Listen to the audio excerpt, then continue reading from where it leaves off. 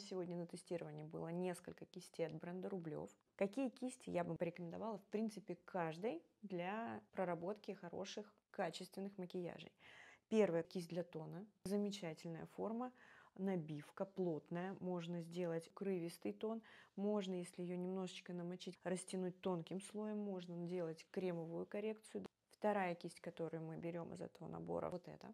На удивление, это имитация натурального ворса, это синтетика, но очень качественная. Я очень скептически относилась всегда, в принципе, к синтетике, которая выполняет функционал натуральной кисти. Кисть справилась. И это может быть кисть для пудры, для сухой коррекции, для румян, для хайлайтера. Если вы вдруг уже пользовались кистями, у вас есть определенные привычки, например, к форме кисти для скульптурирования, она тоже здесь есть. И это тоже имитация, достаточно густая набивка, гуще, чем вот у этой кисточки. Поэтому здесь будет ложиться более пигментированные продукты.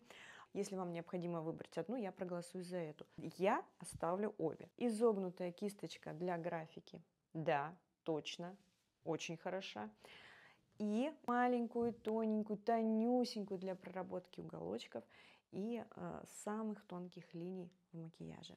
У бренда есть еще много интересных позиций, и я дала вам необходимый и достаточный минимум.